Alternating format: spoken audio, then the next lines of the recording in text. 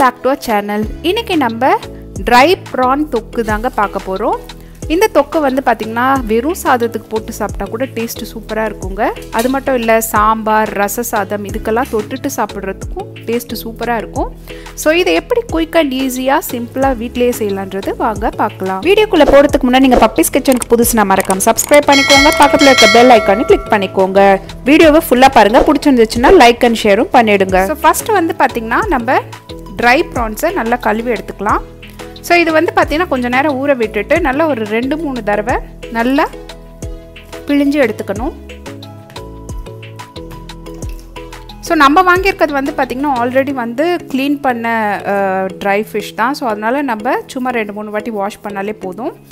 Suppose நீங்கள் வந்துட்டு வாங்குறது வந்து க்ளீன் பண்ணாததாக இருந்துச்சுன்னா நீங்கள் கொஞ்சம் நல்லா ரோஸ்ட் பண்ணிவிட்டு அதுக்கப்புறம் இந்த மாதிரி ஊற வச்சு எடுங்க. ஏன்னா மண் ஏதாவது இருந்துச்சுன்னா வந்துடும். இப்போ ஒரு கடாயில் நாலு ஸ்பூன் அளவுக்கு குக்கிங் ஆயில் ஆட் பண்ணியிருக்கோம் இன்றைக்கி நம்ம பார்த்திங்கன்னா சன்ஃப்ளவர் ஆயில் தாங்க ஆட் பண்ணியிருக்கோம் எண்ணெய் சூடானதும் பத்து பல் பூண்டு ஆட் பண்ணிக்கலாம். சும்மா ஒரு பத்து கருவேப்பிலை எல்லாம் ஆட் பண்ணிக்கலாம்.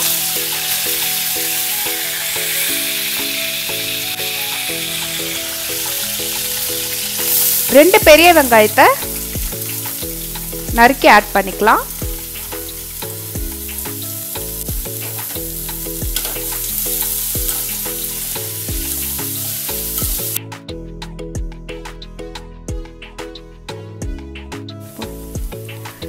இப்போ வெங்காயம் ஓரளவுக்கு வதங்கிட்டு இருக்கும் போதே ரெண்டு மீடியம் சைஸ் தக்காளியை இந்த மாதிரி நறுக்கி வச்சு ஆட் பண்ணிக்கலாம்.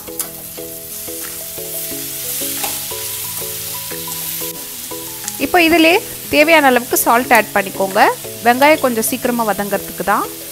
ஸோ இந்த ஸ்டேஜில் ஒரு ஸ்பூன் அளவுக்கு இஞ்சி பூண்டு பேஸ்ட் ஆட் பண்ணிக்கலாம்.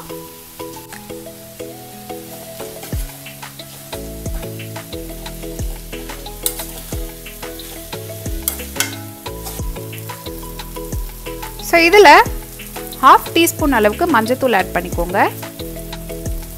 ரெண்டு ஸ்பூன் அளவுக்கு வீட்டு மிளகாய் தூள் ஆட் பண்ணிக்கலாம். ஒரு ஸ்பூன் அளவுக்கு காஷ்மீர் சில்லி பவுடர் ஆட் பண்ணிக்கலாம். உங்களுக்கு நல்ல கலர் கிடைக்கும்.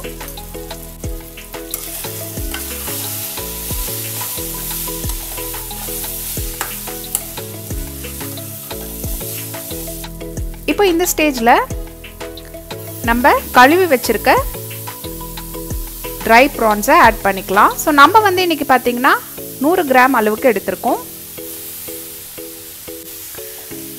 ஸோ இந்த ரெசிபிக்கு வந்து பார்த்தீங்கன்னா கருவாடு வந்து நீங்கள் உங்கள் இஷ்டம் தான் எவ்வளோ குவான்டிட்டி வேணாலும் போட்டுக்கலாம். பட் கருவாடு அதிகமாக இருந்துச்சுன்னா உங்களுக்கு தொக்கில் வந்து உங்களுக்கு நல்ல டேஸ்ட்டாக இருக்கும். உங்களுக்கு நல்ல வாய்க்கு வாய் சாப்பிட்றதுக்கு நல்லா வரும்.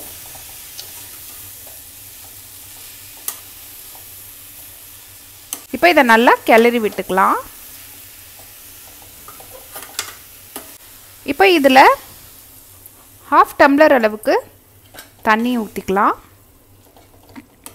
ஸோ இது அப்படியே ஒரு டென் மினிட்ஸ் ஸ்லோ குக் ஆகட்டும். ஸோ அது வரைக்கும் ஒரு மூடியை போட்டு வச்சிடலாம். இப்போ பத்து நிமிஷமாக நல்லா குக் ஆகிட்டுருக்கு திறந்து பார்க்கலாம். பாருங்கள் நல்லா தொக்கு வந்து சுருளை வந்திருக்கு. ஸோ கருவாடும் பார்த்திங்கன்னா டக்குன்னு வெந்துடும். வாசனையே அப்படியே உங்களுக்கு சூப்பராக வர ஆரம்பிச்சிருச்சு. கைப்பிடி அளவுக்கு கொத்தமல்லியை போட்டு இறக்குனா அருமையான கருவாட்டு தொக்கு தயார்.